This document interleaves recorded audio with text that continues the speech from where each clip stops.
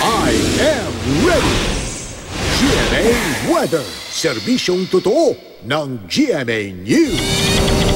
Mga kapuso, umiiral pa rin ang mainit na hangin mula sa silangan ng Easterlies sa malaking bahagi ng ating bansa.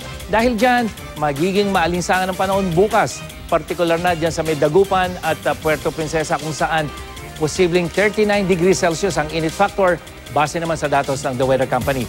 Sa kabila ng init, asahan pa rin ang mahinang ulan dyan sa may northern section ng Luzon. Umaga po yan hanggang sa hapon, lalo na dyan sa may Cagayan Valley region. Uulanin din ang iba pang bahagi ng Central Luzon pagdating naman sa hapon.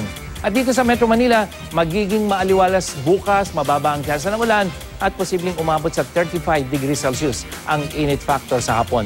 Sa Visayas, posibleng umulan sa may eastern section, umaga pa lamang yan pagdating ng gabi. Diyan sa may western section, posible ang pagulan. May mahinang ulan din sa malaking bahagi ng Mindanao pagdating po ng hapon, lalo na dito sa may ARMM. Mga kapuso, ngayong gabi, masisilayan po ang Lee Ridge Meteor Shower. Simula yan mamayang alas 11 sa gitna ng northern at eastern sky ayon sa pag-asa.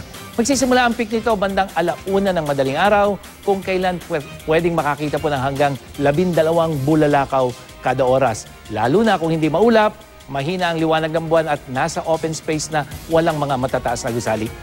Yan ang latest mula sa GMA Weather. Ako po si Nathaniel Cruz. Magplano para sigurado.